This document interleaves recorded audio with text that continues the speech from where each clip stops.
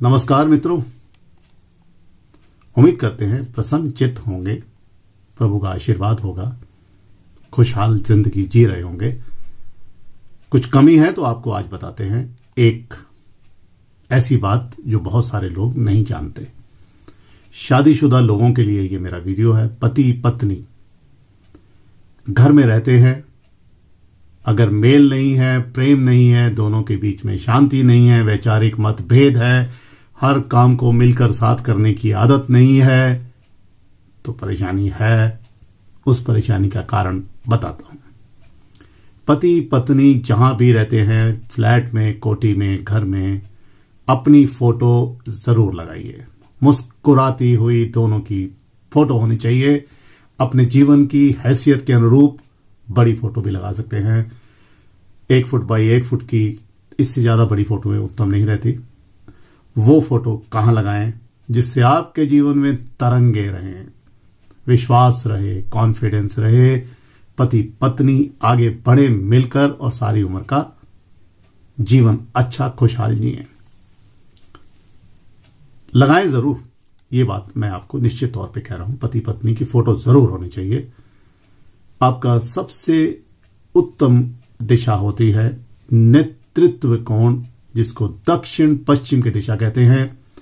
दक्षिण पश्चिम की दिशा जो होती है, पृथ्वी तत्व की दिशा है। स्थायित्व यानी जोड़े में परमानेंट।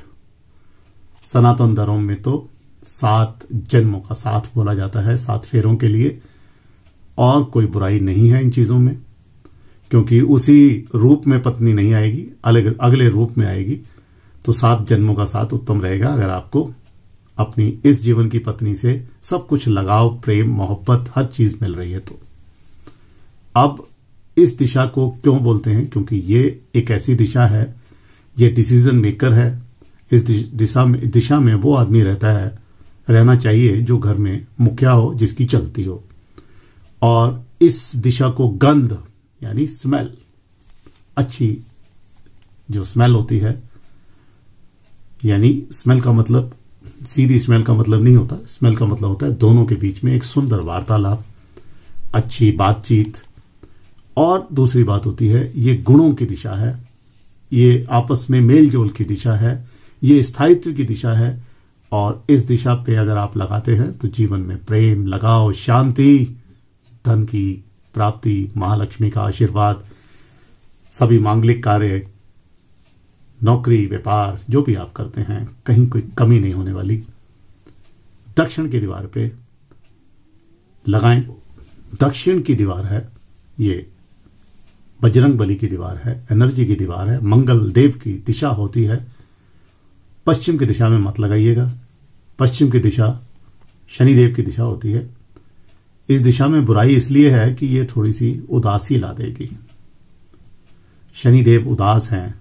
निराशा ला देगी इसलिए साउथ वेस्ट के कोने के मंगल की दीवार पे, यानी दक्षिण की दीवार पे आप लगाइए। जीवन आपका अच्छा रहेगा, तरंगों के साथ रहेगा।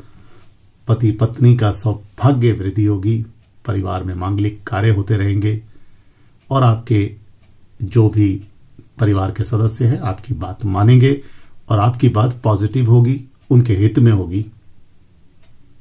इसी तरह की मेरे और वीडियो आप देखते हैं, उसका बहुत बहुत धन्यवाद। जिन दोस्तों ने अभी तक चैनल को सब्सक्राइब नहीं किया तो प्लीज़ कीजिए। मन की कोई जिज्ञासा है तो ज़रूर लिख कर भेजिएगा मेरे एक व्हाट्सएप नंबर पे। एक प्रश्न का निःशुल्क उत्तर देता हूँ।